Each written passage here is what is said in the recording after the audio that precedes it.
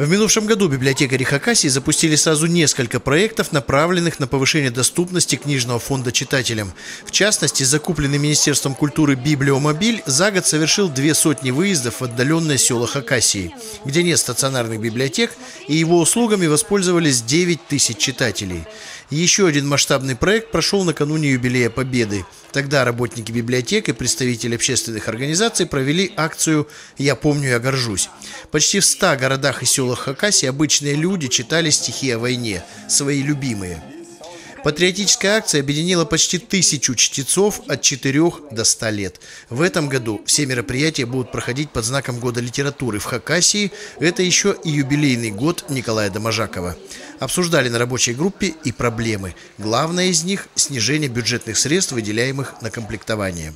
Ни о какой речи о э, соблюдении норматива, установленного президентом в 250 экземпляров на каждую тысячу человек, не может идти речи. У нас по итогам года 2015 получилось всего 99 экземпляров.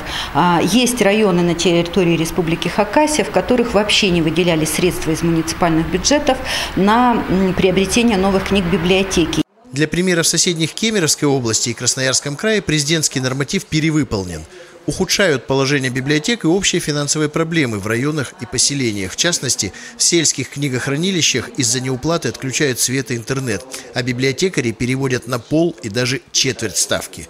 Такая ситуация ненормальная, с этим согласились все участники рабочей группы.